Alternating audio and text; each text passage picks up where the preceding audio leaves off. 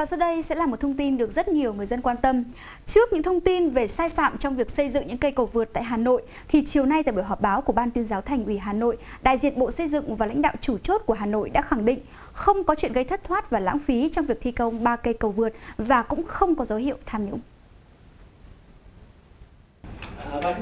Tại cuộc họp báo, phía Sở Giao thông Vận tải khẳng định về nội dung liên quan đến định mức, đơn giá do công trình xây dựng cầu vượt kết cấu thép lắp ghép đầu tiên được triển khai tại Việt Nam nên nhiều hạng mục chưa có trong hệ thống định mức dự toán xây dựng công trình, nhưng đã được lập định mức đơn giá mới phù hợp với tình hình thực tế.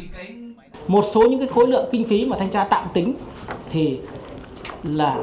cho đến khi mà có cái quyết định phê duyệt của ủy ban thành phố thì coi như là những cái đó là hợp pháp và đủ căn cứ thế cho nên là đấy không phải là những cái khối lượng mà thất thoát.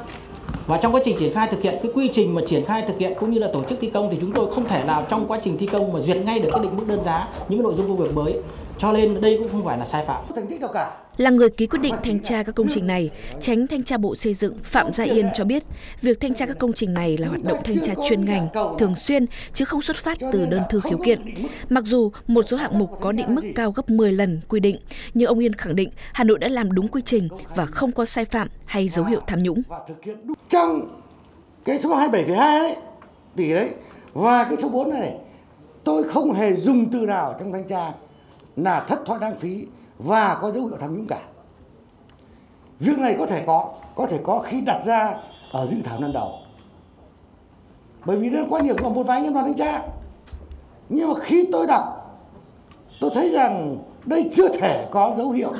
của thất thoát lãng phí được. Mà có thể có dấu hiệu thất thoát lãng phí thì đã gọi đó là sai phạm. Và cái việc đó đã chuyển sang cơ quan điều tra để thực hiện cũng tại cuộc họp báo, Giám đốc Sở Văn hóa Thể thao và Du lịch Hà Nội Tô Văn Động cho biết, việc đề xuất bắn pháo hoa giữa bãi sông Hồng, khu vực cầu Nhật Tân là đề xuất của Sở Văn hóa Thể thao và Du lịch và hiện chưa được cấp có thẩm quyền phê duyệt. Do vậy, đến thời điểm này, kế hoạch bắn pháo hoa của Hà Nội vào đêm giao thừa Tết Ất Mùi mới chỉ có 30 điểm truyền thống tại các quận huyện và chưa có thêm điểm cầu Nhật Tân.